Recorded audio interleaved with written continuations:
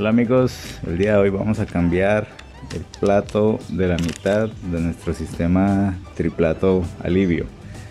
Si ustedes vieron mis videos se dieron cuenta que yo hace poco cambié cadena, casetera y roldanas.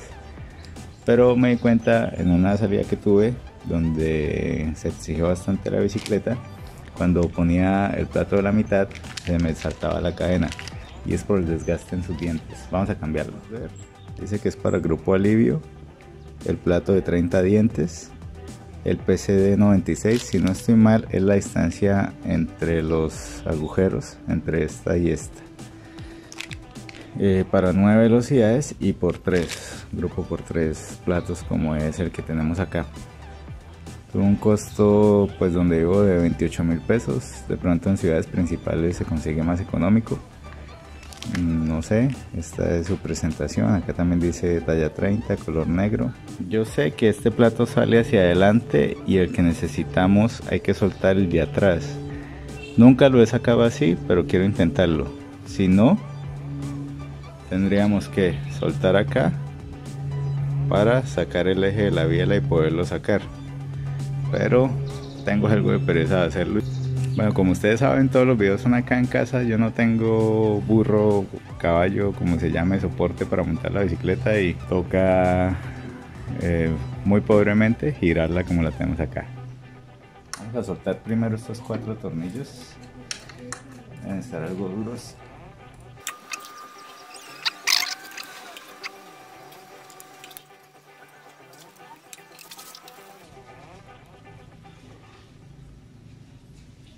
Ok ya lo tenemos suelto.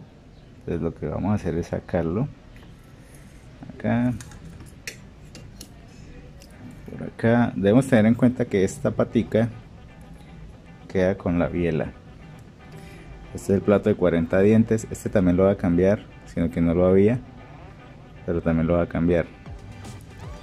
Aquí estaba viendo que dice Shimano 40 30 22 que son los dientes que tiene este tiene 40 dientes este tiene 30 y el de adentro tiene 22 dientes ¿Por qué los vamos a cambiar? Porque esto ya se ha desgastado tanto que permite que se salte. Como este es más grande, pues da un poco más agarre que este. Este todavía no se salta, pero sí va a hacer que la cadena se estire más rápido, se deteriore más rápido. Este sí ya se salta, por eso ya lo vamos a cambiar. Entonces, este sale hacia adelante, pero este no, este sale hacia atrás. Bueno, ahora un poco más complicado, tenemos que soltar estos cuatro por la parte interna.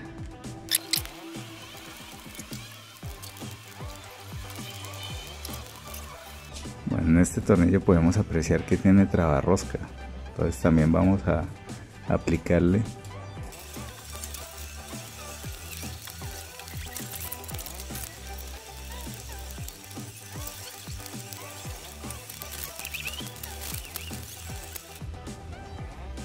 Bueno amigos, ya liberamos el pequeño. Esto realmente pues no tiene un orden. Vamos a sacar la cadena. Y quiero ver si ojalá salga por delante. Ha salido. Qué bien. Como podemos observar, acá tiene unas pequeñas muescas que para fijarlo para cuando vamos a dar el torque para que no se gire. Bueno, he lavado un poco la pieza para que podamos eh, ver cómo se ha desgastado. Sí, es muy evidente si vemos el perfil de los dientes. Yo creo que aquí podemos apreciar claramente cómo se ha desgastado, cómo los dientes son más pequeños, tienden a ser más puntudos y también en el, en el valle o en la parte interna también también va creciendo ese agujero. Pues debido a eso la cadena se comienza a saltar. El plato grande está igual a este, realmente uno lo ve y a uno le da la impresión de que está en buen estado, pero cuando uno ya lo compara con uno nuevo es donde nota la diferencia como tal. Entonces el plato grande también hay que cambiarlo en mi caso, ya lo pedí, eh, no lo había, se demora 8 días en llegar y pues por lo menos es mucho más sencillo de hacer el cambio. Si comparamos los dientes del... Este es el plato más pequeñito, el de 22 dientes. Si comparamos es muy diferente el labrado. Vemos que el diente es mucho más agresivo, mucho más grande. Viene así, tal vez por lo mismo y tanto al ser más pequeño necesita un diente más grande para que no se patine, no se pele.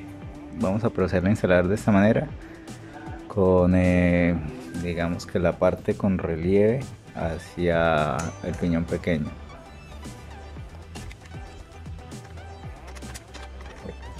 Como recomendación vamos a poner esto antes de roscar el piñón pequeño para que no nos vaya a estorbar después.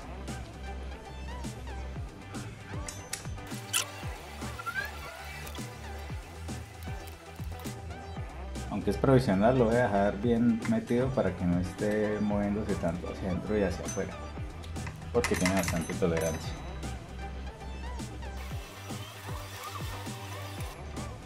ok ahora sí vamos a poner el plato pequeño vamos a usar rosca acá se aprecia que él tenía rosca yo tengo acá fuerza media esto lo pueden comprar, hay muchas marcas, Loctite, muchos modelos.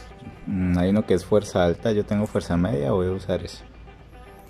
Esto es para que eh, una vez que rosquemos y se seca, fija el tornillo para que no se deje girar.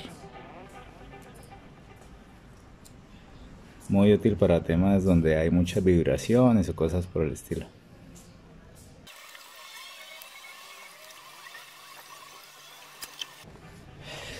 Ya he hecho todo el procedimiento con una llave de 5 milímetros. Acá es un poco incómodo. Busqué en la herramienta y conseguí esta. Que debemos tener cuidado que no es de 5 milímetros, es de 3,16 de pulgada, que es un poquito más pequeña. Esta es en pulgadas, esta es milimétrica. Entonces eh, es una llave que podemos usar para acercar los tornillos al fondo, pero no para dar torque, porque vamos a dañar o sea dañar la llave o sea dañar los tornillos porque es más pequeña. Entonces ya cuando vayamos a apretar en mi caso usarla de 5 milímetros. Si tienen una así de 5 milímetros pues la pueden usar con, con seguridad.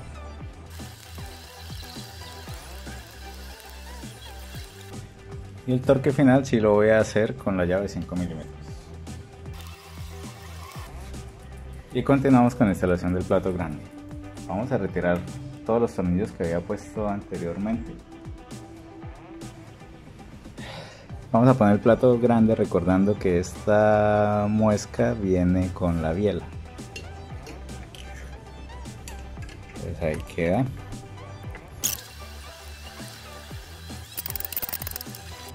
Y ahora que todos están aproximados, ahora sí podemos dar el torque final. Vamos a ver cómo quedó.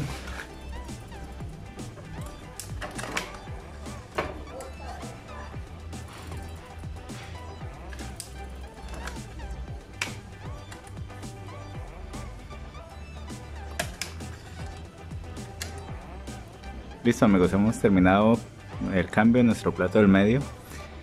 En el próximo video cambiamos el más grande, pero es súper fácil.